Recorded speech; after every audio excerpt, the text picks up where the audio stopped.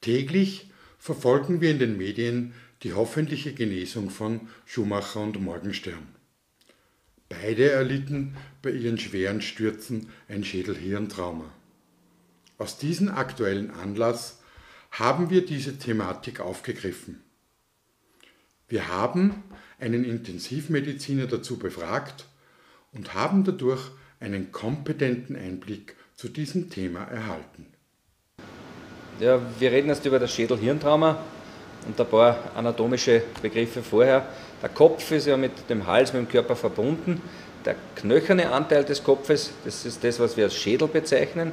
Und der Schädel hat eben zwei Teile, den Gesichtsschädel und den Gehirnschädel. Der Gesichtsschädel ist das, wo die Körperöffnungen sind für Atmen und für Essen und Trinken und auch die Verbindung über die Nerven zum Gehirn, Sinnesorgane wie die Augen zum Sehen und die Ohren zum Hören, Mund, Geschmack und über Nase Geruch.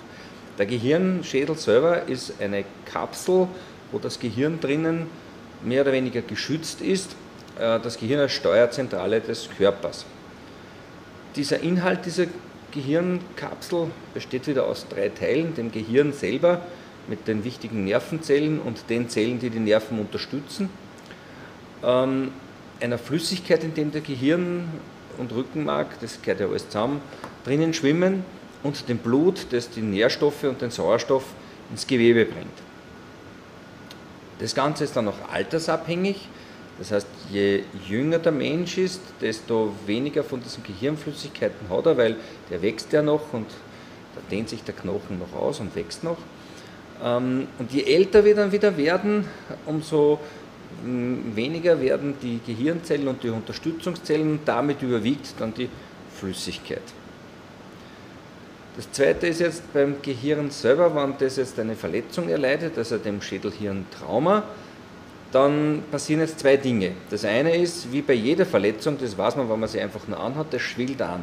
So auch die Gehirnzellen und die Unterstützungszellen. Wenn die aber anschwellen und die Gehirnkapsel mehr oder weniger geschlossen ist, dann muss, wenn das Gehirn anschwillt, der Druck drinnen steigen. Der einzige Reaktionsmechanismus, den der Körper hat, ist, dass diese Gehirnflüssigkeit weniger wird. Das heißt, je jünger wir werden und weniger haben, desto schneller wird es dramatisch. Und das Zweite ist, es muss aber noch eine Durchblutung aufrechterhalten werden, weil er kann nicht einfach sagen, gut, dann durchblute ich einfach nicht, weil dann kommt es zu einer Unterversorgung mit Sauerstoff und mit Nährstoffen. Und das ist gefährlich. Wie wir aus der aktuellen Tagespresse und auch den ähm, Fernsehberichten und der Interviews äh, der wichtigen Fachleute gehört haben, sind so 72 Stunden, also drei Tage, so das Zeitfenster, wo man schauen muss, in welche Richtung das geht. Weil das kann sein, dass sich das glimpflich ähm, beendet, das heißt, es wird nicht sehr viel schlimmer oder es nimmt von Tag zu Tag zu. Dann werden mitunter lebensrettende Operationen notwendig, um dem Gehirn noch mehr Raum und Platz zu geben. Und das sind halt doch ganz schöne Eingriffe in den Menschen.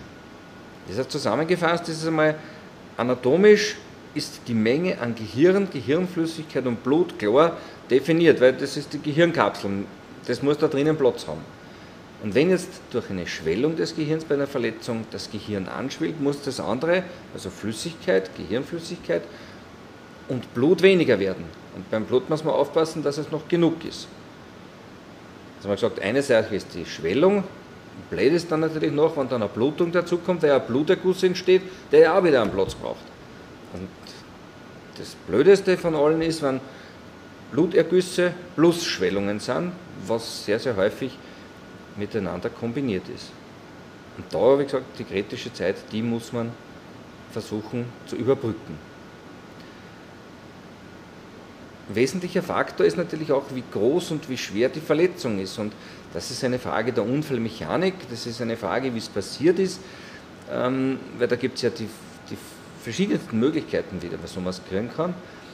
Und ähm, nur um einen Anhalt einmal zu geben und überhaupt einmal so eine Idee zu haben, wie das, äh, wie das größenordnungsmäßig einzuordnen ist, was da für Gewalt auf den Körper wirkt, ist, wenn man jetzt zum Beispiel sagt, man würde mit 30 km/h, das ist sehr, sehr langsam, wie wir alle wissen, gegen ein stehendes Hindernis, ein stehendes Hindernis fahren, dann ist es so wie Sturz aus zweieinhalb Meter Höhe. Das ist da ungefähr diese Raum- und Zimmerhöhe. Mit 50 km/h, also das ist, das ist das, was man im Stadtgebiet fahren darf, gegen ein stehendes Hindernis. Das ist ungefähr so, naja, Dachhöhe bis dritter Stock. Mit 70, das ist Überlandstraße gegen stehendes Hindernis, das ist so zehnter Stock aus dem Haus.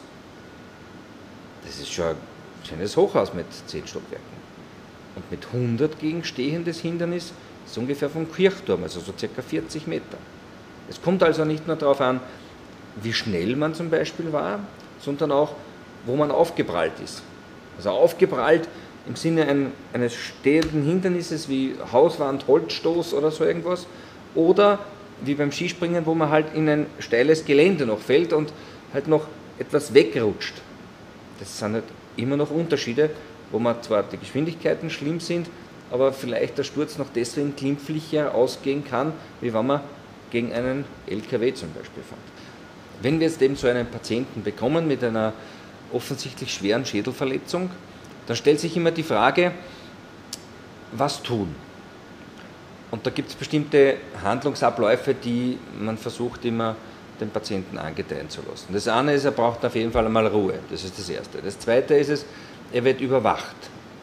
Kreislauf, Atmung, neurologisch.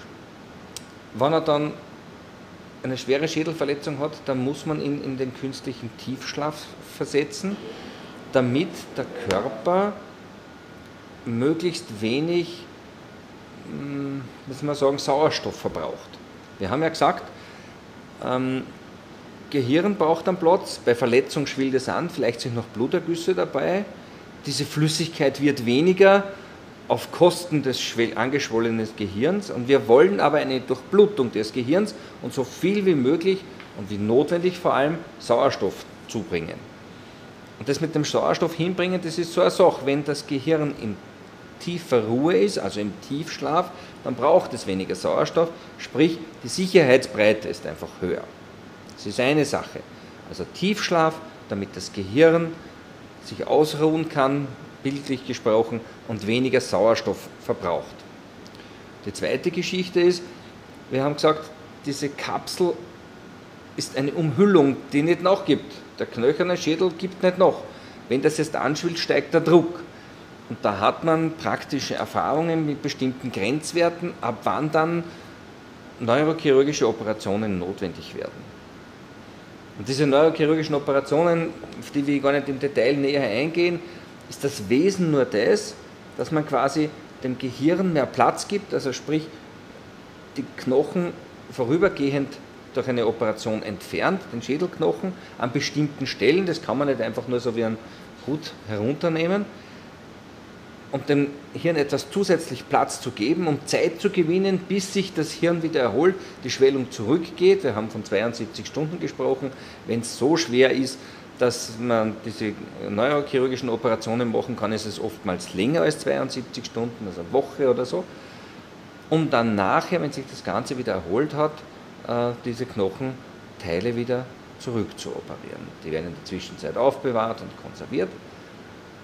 Das ist eine intensivmedizinische Betreuung mit Messen des Hirndrucks, mit Sauerstoffversorgung garantieren und möglichst wenig Stress für den Patienten, um ihn dann sukzessive wieder aus dem Tiefschlaf zu holen und zu schauen, was dann noch an Funktionen wiederkommt und wie weit sich der Patient erholt. Jetzt haben wir über den Intensivaufenthalt gesprochen. Am Ende der Tiefschlafphase beginnt dann der Übergang, wo der Patienten wieder aus dem Tiefschlaf in den Tag-Nacht-Rhythmus bringt und ihn wieder aufweckt. Das ist begleitet von intensivmedizinischen, pflegerischen Maßnahmen.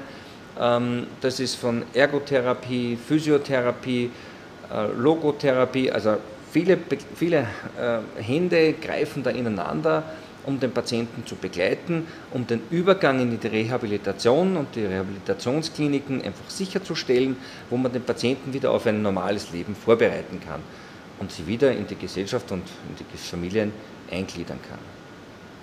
Die einzige Botschaft kann nur sein, Schädelhirntrauma ist was Schweres, wie ihr gesehen habt. Das ist anatomisch kann man nicht aus. Wenn der Unfall einmal passiert ist, dann kommen die Konsequenzen. Wir versuchen während der ganzen Krankenhausphase die weiteren Schäden zu minimieren und gar nicht aufkommen zu lassen. Aber das erste Unfalltrauma, der erste Schlag auf den Kopf, der kann nicht ungeschehen gemacht werden. Daher die Konsequenz. Gut, rettet Leben. Airbag vermindert die Wucht des Kopfes auf das Lenkrad oder die vorderen Teile des Autos. Alles, was ein Zweirad hat, ein Helm vom Fahrrad über das Motorrad, ähm, Skifahren, Snowboarden. Wer Hirn hat, schützt, das war ein großer Slogan. Das kann ich nur unterstreichen, denn ich denke, wenn der Schaden eingetreten ist, dann können wir schauen, dass man, das nicht schlimmer wird. Aber den Schaden erst gar nicht eintreten zu lassen, ist, glaube ich, die Maxime.